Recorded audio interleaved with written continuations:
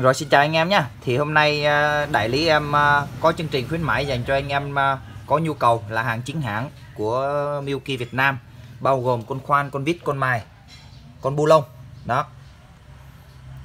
Đây là con vít này là FID2 thì thân máy thì em sẽ có chương trình là tặng một mua thân máy tặng hộp mũi vít này là dành cho anh em sử dụng con vít.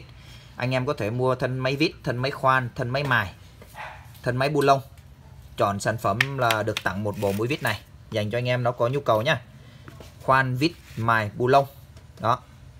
Em sẽ tặng cho anh em là một bộ mũi vít này khi mua sản phẩm khoan vít mài bu lông. Đó. Cứ thân máy là được tặng ờ, hộp vít này khi mua hàng nha anh em. Đó là chương trình ờ, khuyến mãi của đại lý. Thì anh em nào có nhu cầu thì liên hệ em qua số điện thoại 093 117 2897 đó. Địa chỉ là 854 sạc 43 Thống Nhất phường 15 Gò Vấp. Rồi, cảm ơn anh em đã xem video nhé. Thân máy này hiện tại chính hãng là thân máy có thùng là 4 triệu rưỡi. Em sẽ tặng cho anh em một bộ mũi vít này. Rồi, cảm ơn anh em xem video. Số lượng có hạn nha anh em. Chứ không có nhiều. Đây là flash sale dành cho anh em uh, trong tuần này thôi. Đó. Rồi, cảm ơn anh em đã xem video.